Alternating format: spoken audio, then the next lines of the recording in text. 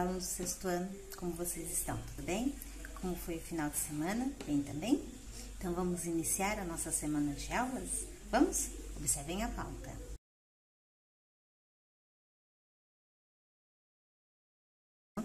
Vocês viram nessa pauta que nós temos uma correção né, de atividades para fazer e depois tem um produzindo. Esse produzindo vocês estarão lendo com bastante atenção, que na próxima aula nós estaremos comentando sobre é, como será essa produção textual de vocês, tá bom? Então vamos para a correção agora? Vamos lá? Observem a tela então. Então, olha só, vocês tinham aí nessa atividade, era a nona atividade para fazer. E era sobre um texto, né, da reportagem que nós estamos trabalhando. Então está assim, leia o texto a seguir e responda as questões. Trata-se do trecho do trecho de uma reportagem publicada na revista Mundo Estranho. Então vocês podem observar até mesmo pela imagem, que é bem interessante, né, sobre o que se trata, né? E se alguém jamais saísse do banho? Observando bem os pezinhos aí, o menininho bem à vontade lá na banheira. Vocês já leram o texto, então não tem necessidade da prof ficar lendo o texto novamente, não é mesmo? Vocês já leram, já entenderam o texto. Porque essa reportagem ela vai, veio trazer que informação para nós, né? Primeiro ela começa a falar da vontade de ficar embaixo da água, que eu tenho certeza que em muitos momentos o pai bate lá na porta, a mãe, né? Ô pai, esse banho está demorando muito, né? Então, quando é um tempo frio, nós queremos ficar embaixo da água quente. Sair da água quente parece ser um tormento. E muito calor, ficar embaixo daquela água fria, caindo no corpo também é maravilhoso. Então, o banho é maravilhoso, só que temos que tomar cuidado com os excessos, não é mesmo? E depois, vocês têm aí no segundo no segundo parágrafo que está o tipo zumbi. Né? O que, que vem a falar o tipo zumbi? É a aparência que fica né, na, na, nossa pele, que com certeza vocês já viram, observando até esse pezinho aí, quando vocês ficam muito tempo na, na água, vocês sabem que a pele fica enrugada, não é mesmo? Então é isso que essa parte do tipo zumbi veio nos trazer também, tá? Então, como vocês já leram todo o texto, nós vamos para a primeira questão, que diz assim: Identifique o tempo e o modo da forma verbal saísse presente no título da reportagem. Então, o título da reportagem é E se alguém jamais saísse do banho? Então, é esse saísse, é esse verbo que você estará analisando. O que, que ele está pedindo? Tempo e o modo verbal. Quando nós falamos de tempo, estamos falando de presente, pretérito, que é o passado, e o futuro, certo? E quando nós estamos falando de modo, nós estamos falando do indicativo, do subjuntivo, né? Então eu tenho que saber direitinho como é quando eu trabalho isso, tudo bem? Então vamos lá. A primeiro, saísse. Qual é o tempo que ele está? Então, olha, presta bem atenção. E se alguém jamais saísse do banho? Ou saísse do banho é uma ação que já aconteceu, né? Se jamais, jamais saísse do banho. Então, é pretérito. Que tipo de pretérito? Quando eu falo de passado, eu estou falando de pretérito, mas eu tenho três tipos de passado que nós já vimos né? Que é o perfeito, imperfeito, mas que perfeito. Nessa situação aqui, qual é o tempo? É o pretérito imperfeito. Por que pretérito imperfeito? Porque é uma ação que aconteceu há muito tempo, né? E ela pode até mesmo ter continuidade. Por isso que eu falo que é o pretérito imperfeito. Não, de continuidade não, perdão. É uma ação que já aconteceu há muito tempo, certo? E não, e não foi concluída né? Porque eu tenho o pretérito perfeito, que é a ação que já aconteceu e já foi concluída, e o pretérito imperfeito é uma ação que aconteceu, mas ela não foi concluída ainda, tá? E ele fala, pede o modo, a, o modo da forma verbal também. Lembra que eu falei para vocês, quando vocês estavam trabalhando no subjuntivo, para vocês observarem o que, se e quando, que era muito importante? O que estava no presente, o se estava no pretérito e o quando estava no futuro. Lembram disso? Então, quando trabalha uma forma subjuntiva, tem que lembrar disso, tá? Então, se vocês observarem lá, e se alguém jamais saísse do banho? Tem o se ali, não tem? Tendo se, que, que modo que nós estamos? No modo subjuntivo, tudo bem? Sem problema por enquanto? Né? E é claro que quando nós falamos modo subjuntivo, nós falamos de algo de nos transmite incerteza né? E quando ele falou, e se alguém jamais saísse do banho, ele não está dando uma certeza, ele está trabalhando com essa incerteza, ele não sabe, tudo bem? Na segunda questão, vocês tinham assim, no trecho ficar embaixo da água para sempre não vai trazer nada de bom. Identifique a locução verbal, transforme-a em um só verbo com o mesmo valor da locução e escreva que tempo e modo ele pertence. Então, a primeira coisa que eu tenho que saber fazer é o quê? Que é uma locução verbal, né? Que nós já vimos anteriormente. O que é a locução verbal? São dois verbos juntos numa mesma oração, só que eles precisam estar juntos. E nós sabemos também que nós podemos trabalhar essa locução verbal e transformá-la em um verbo apenas. Só que eu preciso saber direitinho o tempo e o modo para transformar esse meu verbo. Qual é a, a frase que está lá? Ficar embaixo da água para sempre não vai trazer nada de bom. Aonde é que está minha locução verbal? É, vai trazer, né? São dois verbos aí. Então, como é que nós iríamos trabalhar? Trará. Não vai trazer, trará. E ele está perguntando qual é o tempo verbal. Então, trará, vai trazer, trará. Estou no tempo futuro, não é mesmo? Porque não aconteceu ainda. Vai trazer, trará. Então, é futuro. Só que ele é, que tipo de futuro? Né? Que eu tenho dois tipos de futuro: futuro do presente e futuro do pretérito. Lembra? O futuro do presente é aquele futuro mais próximo e futuro do pretérito é aquele futuro mais distante, certo? Então, nós temos aqui que tipo de futuro? Futuro do presente. E ele trabalha o modo. Que tipo de modo? Modo indicativo. Lembra? Tem o que, sei, quando lá? Não tem. Então, nós somos um modo é, indicativo. Tudo bem? Sem problemas? O próximo, na letra C, está assim. O que significa a expressão bater as botas, usada na reportagem?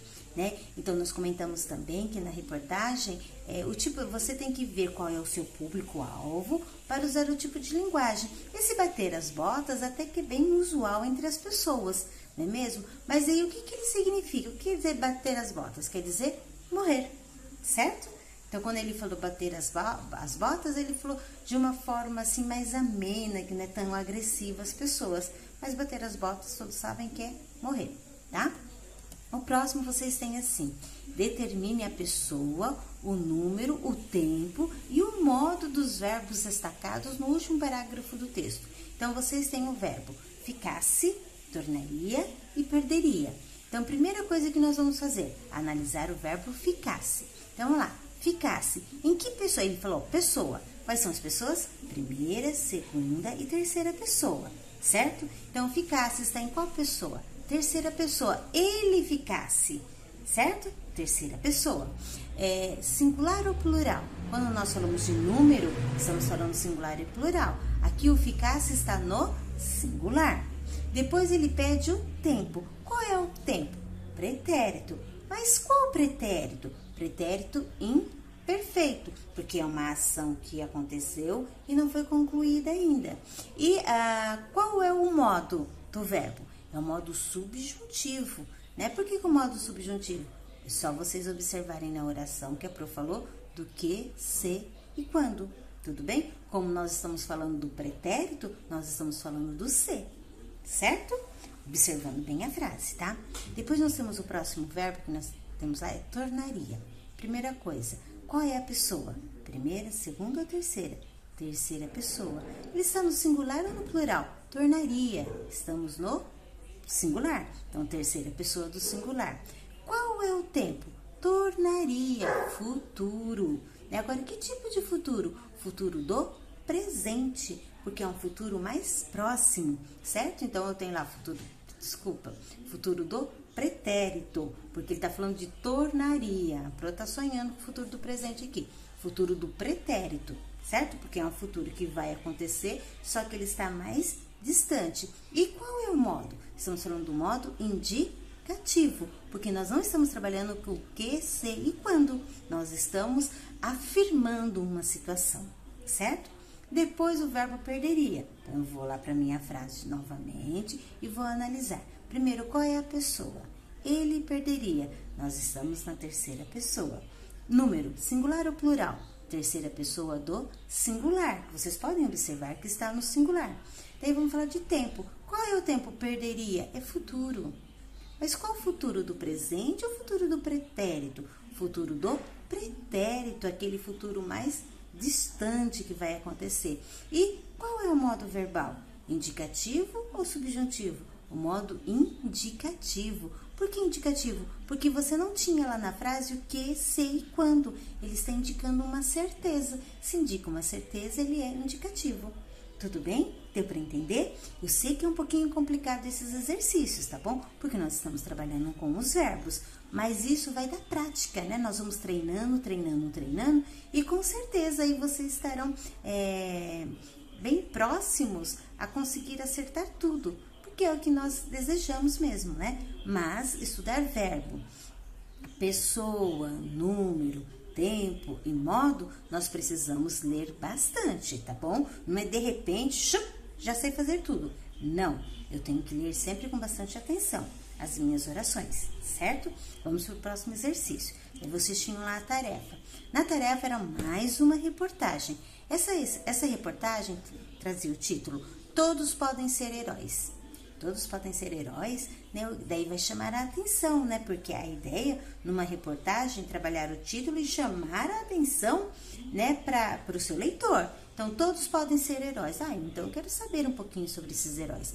Daí eu tenho lá no, no subtítulo: é, Jornalista americana investiga em livro as bases científicas do altruísmo. Opa, altruísmo?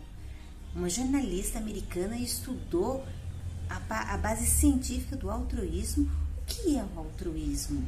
Vocês pararam para pensar o que é o altruísmo? É claro que na apostila ela veio apresentando aí do lado para vocês o significado do altruísmo, não é mesmo? E vocês observaram lá para poder entender essa reportagem que o altruísmo é você tratar as pessoas com muito amor, com muita atenção, com muito carinho, sem esperar algo em troca, certo? Então isso é altruísmo. Você amar, você ajudar, você estar do lado, não, não pensando nada em troca certo? É simplesmente o sentimento pelo seu sentimento, tudo bem? Daí veio todo o texto, né?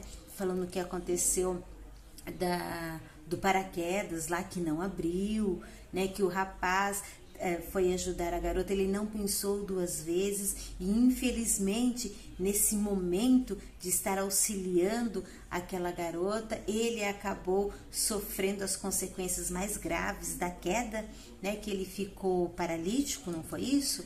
E, e aí foram. Ele levou todas as consequências para ele, né? E daí parou-se, mas por que, que ele fez aquilo? Ele nem conhecia aquela garota, né? Nem conhece e de repente vai lá e de, vai dar a própria vida, né? Ele sacrificou a própria vida dele por uma garota. Mas na realidade, o que, que ele estava colocando em prática? O altruísmo. Ele simplesmente quis ajudar aquela garota, sem pensar em outras coisas, né?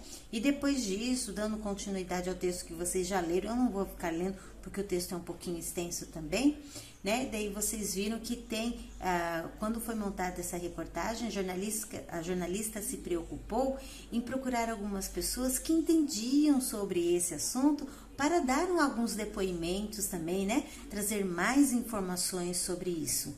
Tudo bem? E depois, finalizando ali, é, ele colocou lá três dicas de como você pode fazer para ajudar os outros, como ajudar os outros, acaba nos afetando. E é bem interessante. Esses três eu quero ler para vocês que eu achei muito interessante, que tá assim: olhos bem abertos quando percebemos que empatizamos com alguém que está em situação de perigo. Nossas pupilas se dilatam. Né? Interessante isso. Quando você observa alguém está lá em perigo e de repente a sua pupila lá dilatou. Você sentiu, você percebeu aquilo. Na segunda, ele diz: supervida. A média de vida de quem faz trabalhos voluntários é cerca de 4 anos superior à da população em geral. Nossa, eu quero sempre ajudar as pessoas. Pessoa 4 anos superior. E o último tá: contágio. Depois de realizar um ato desinteressado para melhorar a vida de alguém, você sente os efeitos durante 4 horas né? Então é interessante, é um contágio. Você ajuda as outras pessoas e parece que tudo vem te ajudando também, certo? E o texto, né? A reportagem, é, o texto é do Tiago Cordeiro, tudo bem? Né, que a reportagem nós vimos lá o nome da jornalista. Tá? Aqui a imagem, né, que eu falei para vocês que a imagem também é muito importante porque ela aguça a curiosidade do seu leitor. Então, sempre trabalhar a imagem, ela ajuda. Daí vocês tinham a primeira pergunta que dizia assim: qual foi a motivação da jornalista americana Elizabeth Svoboda para escrever o livro What Makes a Hero. O que ela pretendia investigar? Bom, nós observamos lá que ela estava falando o quê? Do altruísmo. O que, que aconteceu para ela falar do altruísmo? Foi aquele ato heróico né, e de coragem que foi praticado por quê? Pelo instrutor texano, né? Para a, quando ele tentou proteger a mulher. Ao ponto de quê? Ficar paralisado da cintura para baixo para salvar a, a, vida de uma estranha, porque ele não conhecia aquela mulher. E aí a gente acrescenta: a jornalista americana pretendia investigar esse tipo de comportamento dos seres humanos, um comportamento altruísta, né? Como de repente vai querer ajudar a pessoa sem nem conhecer a pessoa, colocar sua própria vida em risco, mas não pensar nisso, apenas pensar em ajudar alguém. Isso é muito nobre, né? Na segunda questão, tinha lá para vocês uma das características da reportagem é o aprofundamento das informações por meio de pesquisas, coleta de dados, entrevistas, etc. Então vocês sabem que nós temos uma notícia, a notícia ela é mais instantânea, né? Momentânea. Agora a reportagem não. A, a partir dessa notícia, nós temos a reportagem e começamos a coletar muito mais informações para colocar nessa reportagem. E é isso que começa a diferenciar a notícia da reportagem, certo? E tá lá. A escrita de uma boa reportagem exige dedicação e estudo do repórter para que ele transmita o máximo de informações interessantes a, seu, a seus leitores. Né? Então, daquela notícia que ele pegou, ele tem que trazer muito mais informações. E essas informações têm que ser interessantes. Então, ele tem que saber qual é o público-alvo dele e procurar informações para trazer na sua reportagem que vá chamar a atenção desse seu público-alvo. E depois, avaliando a reportagem, é fácil perceber que o jornalista buscou dados científicos e realizou pesquisas sobre o assunto. Exemplifique sua resposta. Então, olha só, para você estar colocando essa resposta, você teria que verificar o que? Dentro dessa entrevista, né, ah, foi colocado opiniões de pessoas que conheciam sobre aquilo, foi colocado algum estudo que se trabalhou sobre o altruísmo? Sim. Né? Então a resposta seria sim. Em vários momentos da reportagem aparecem dados científicos e referência a profissionais especializados. Exemplo: entre os levantamentos mostrados no livro está um estudo de Max Planck Institute da Alemanha. Os cientistas sociais James Fowler e Nicholas Christakis mostraram, e aí vocês podem continuar um pouquinho o texto. Mas isso vocês observaram que nessa resposta que nós temos aqui foram colocado o nome das pessoas que foram pesquisadas, onde ela procurou toda a informação, tá? E isso é muito importante. Nossa reportagem. A terceira pergunta estava assim: com base no texto, escreva três efeitos positivos que os altruístas proporcionam aos seres humanos. Bom, aqui era só eu chegar lá no meu texto, né? Que vocês podiam observar logo no finalzinho como ajudar os outros nos afeta. Então vocês têm lá as três dicas, né, os três pontos de ajudar as pessoas. Então o que nós temos lá? Realizar atos, atos altruístas movimenta as mesmas áreas ativa, ativadas pelo prazer. Os efeitos positivos de boas ações podem durar por até quatro horas e aumenta a média de vida em quatro anos certo? É que vocês puderam observar que foi né, um, um, resumo daquilo que estava anotado, porque não é a cópia daquilo, é aquilo que você entendeu que você está colocando aqui, tá? Então, na quarta questão está, segundo o psicólogo Rob Boyd, que o fato ajuda a explicar como os seres humanos se tornaram capazes de viver em ambientes tão diferentes entre si.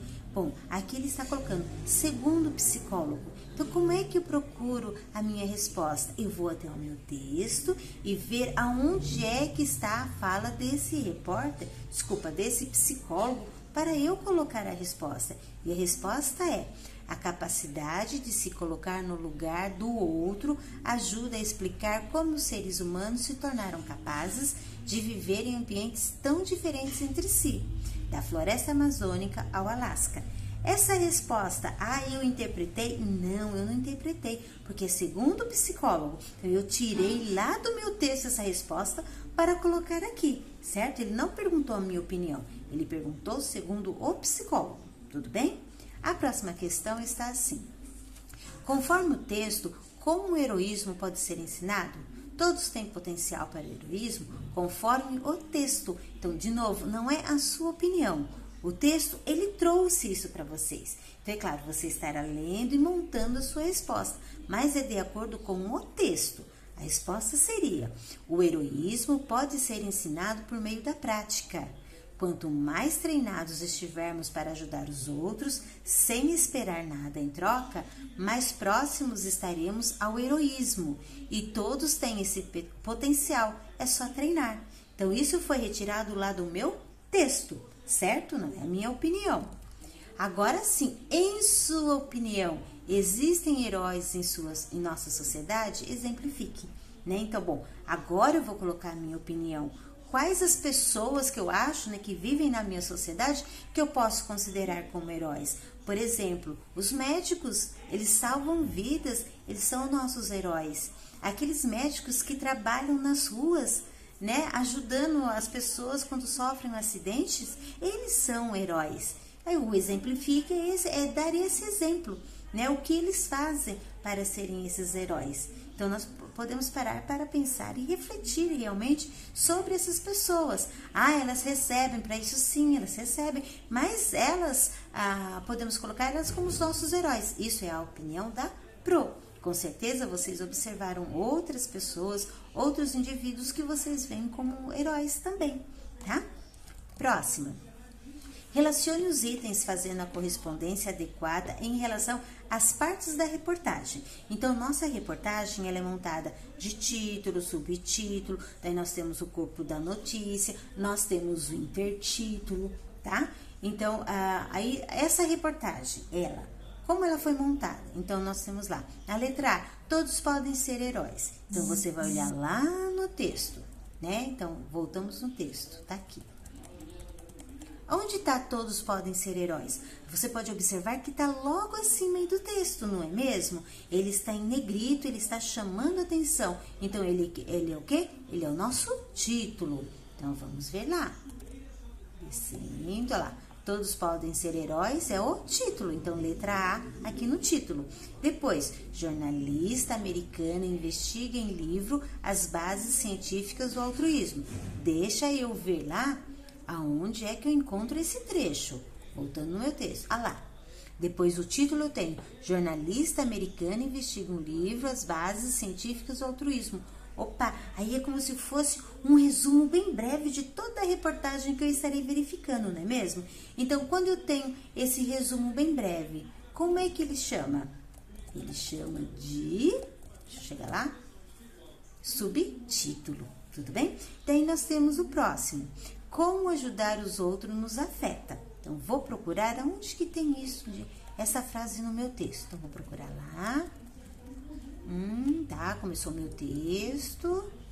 Hum, deixa eu ver aqui. Ah lá. Como ajudar os outros nos afeta. Então, vocês podem observar que foi colocado aí e para chamar a atenção do seu leitor, não é mesmo? Que chamar a atenção do leitor, falou, opa, qual é essa forma de ajudar os outros? Né? E isso também né, tem um nome específico dentro da nossa reportagem. E o nome específico é intertítulo, tá? Porque, olha, intertítulo é como se fosse um título breve no meio do meu texto, dando uma introdução para mais uma informação que eu quero passar para o meu leitor, tá? Próximo. Leia as frases a seguir inspiradas na reportagem. Então, nós temos: jornalista americana investiga as bases científicas do altruísmo. O instrutor texano usou seu corpo para proteger Shirley de Gert. E quando as pessoas praticarem mais atos heróicos, eu viverei menos insegura. Desejo que nós percebamos, nós percebamos, percebamos a importância de se colocar no lugar do outro. Determine pessoa, número, tempo e modo dos verbos destacados. Então, para eu é, determinar, eu vou observar sempre a minha frase, não é mesmo? Principalmente se eu estiver trabalhando com modo, para eu saber se é indicativo e se é subjuntivo. Lembra do que, ser, quando? Então, eu preciso observar isso também, tá ok? E saber, é claro, que quando eu estou falando do, do indicativo, é uma certeza, e do subjuntivo é uma dúvida, é uma incerteza que realmente aquilo aconteça, tá? Então, vamos para a primeira oração. Jornalista americana investiga as bases científicas do altruísmo. Então, primeira, a primeira coisa que eles pedem, pessoa. Primeira, segunda ou terceira pessoa. Jornalista americana investiga. Ela investiga. Ela. Eu, tu, ele ou ela. Terceira pessoa. Então, coloca lá. Investiga, terceira pessoa. Daí ele pede número. Número eu tenho singular e plural. Então, vou observar lá. Jornalista americano investiga. Está no singular ou está no plural? No plural. Então, eu coloco terceira pessoa do singular. Desculpa, plural não, singular, tá? Terceira pessoa do singular. Daí, o próximo passo que eu vou ver é o quê? É o tempo. Então, eu vou ver. Jornalista americana investiga. É uma ação que está acontecendo. Se é uma ação que está acontecendo, é o presente, tá? Investigue as bases científicas do altruísmo. Próximo passo que, tô, que ele pede é o modo. Bom, essa oração, ela está me transmitindo uma incerteza, uma dúvida ou ela está dando uma certeza para mim? Jornalista americana investiga as bases científicas do altruísmo. Está dando uma certeza. Se está dando uma certeza, o modo é indicativo. Então a resposta do meu verbo investiga é terceira pessoa do singular, presente do indicativo. Tudo bem? Muito complicado? Não muito, né? Só que tem que prestar bastante atenção. Segunda frase.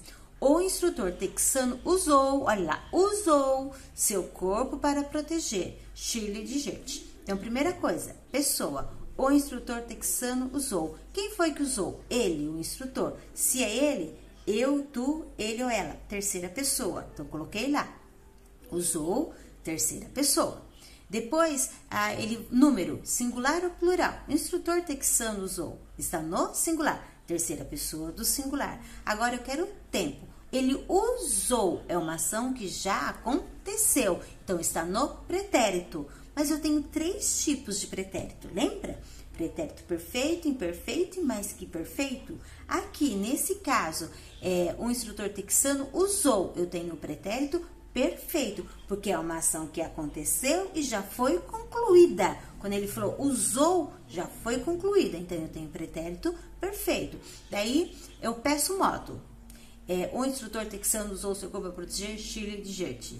Ele está no indicativo ou ele está no subjuntivo? Ele deu uma certeza daquilo ou ele deu uma dúvida? Ele deu uma certeza. Desta forma, ele está no indicativo, ok? Próximo verbo, praticarem e depois vamos pra, é, percebamos, desculpa, percebamos. Então, olha só já como que tá ah, o verbo. Não, não é percebamos, é praticarem, viverei. Praticarem. Vamos ao praticarem. Ah, primeira, segunda ou terceira pessoa. Quando as pessoas praticarem. Pessoas, elas. Nós, vós, eles ou elas. Terceira pessoa. Bom, número pessoas praticarem, elas, número singular ou plural? Plural. Então eu tenho aqui a terceira pessoa do plural. Agora eu vou passar para o tempo. Quando as pessoas praticarem, bom, praticarem é uma ação que ainda vai acontecer. Se é uma ação que vai acontecer, eu falo do futuro, tudo bem? Daí, ah, daí eu tenho lá, modo. Quando as pessoas praticarem, quer dizer, eu não tenho certeza se isso vai acontecer ou não não é mesmo? Lembra que se, quando, quando praticarem, ah, quando eu uso lá no futuro, quando eu estou falando do subjuntivo, quando eu não tenho certeza. Então, eu tenho o futuro do subjuntivo, ok? Depois eu tenho o verbo viverei. Eu viverei menos insegura. Então, vou lá. Eu viverei. Quem viverei? Eu. Eu, primeira pessoa. Número, plural singular. Eu, primeira pessoa do singular tá? Por enquanto, tudo bem. Eu viverei. Então, eu coloco primeira pessoa do singular. Daí ele vai pedir tempo. Eu viverei. Se eu viverei, eu estou no futuro, certo? Agora, que tipo de futuro? Eu viverei. Futuro do presente. Lembra da terminação do verbo também quando nós falamos do futuro do presente e futuro do pretérito, que é o futuro do presente aquele mais próximo e do pretérito aquele que está mais distante. E eu tenho que observar a terminação dele para eu saber. Tudo bem? Então aí eu tenho o futuro do presente. Agora qual é o modo? Eu viverei menos insegura. Ah, eu estou passando para você uma certeza ou estou passando uma dúvida? Estou passando uma certeza. Se é certeza, qual é o modo? Modo indicativo. Então eu tenho aqui: viverei primeira pessoa do singular, futuro do presente do indicativo. Tudo bem? Agora o último verbo. Desejo que, que nós percebamos. Então vamos lá. Percebamos. Nós percebamos. Ah, nós é primeira pessoa do plural, certo? Então, pessoa, primeira pessoa. Número, singular ou plural? Plural, que é nós. Tudo bem? Bom, eu vi a primeira pessoa do plural. Daí ele vai pedir o tempo. Desejo que nós percebamos. Então, é o tempo presente. Agora, presente do subjuntivo ou indicativo? Ah, então eu tenho que observar lá. Desejo que nós percebamos. Ah, que nós percebamos. Lembra? Que, se e quando eu tenho que lá. Então, o que está me indicando o subjuntivo, certo? E também, é claro, além do, do que, que é a dica, né, que eu falei para vocês, o que, o que, se e quando, que é a dica, tá? Aí eu vou saber também que é um fato incerto, é uma coisa que eu não tenho certeza vai acontecer. Desejo que nós percebamos, pode ser que a gente não perceba. Tudo bem? Deu para entender? Não é tão simples assim, mas também não é um monstro de sete cabeças, tá bom? A gente tem que ir tomando cuidado ponto a ponto. Primeiro, a pessoa é primeira, segunda e terceira pessoa. Número, singular e plural. Tempo, presente, pretérito e futuro, sabendo que o pretérito, pretérito perfeito, imperfeito e mais que perfeito. Futuro, futuro do presente e futuro do pretérito modo. Aí eu tenho o indicativo e o subjuntivo. Indicativo é certeza, né, daquilo que tem que ser feito, e o subjuntivo é quando me transmite uma dúvida. E eu tenho sempre lá o que, se e quando. O que, quando eu estou trabalhando com o presente, o se, quando estou trabalhando com o pretérito, e o quando, quando estou trabalhando com o futuro, tá? É importante vocês colocarem isso na mente, tudo bem? Deu para entender um pouquinho? Mas não se preocupem que a gente vai estar tá trabalhando muito mais ainda com esses verbos, tá? Agora vocês têm lá o Produzindo Textos, que a Pro pediu para vocês lerem. Leiam com bastante atenção, que na próxima aula estaremos conversando sobre ele.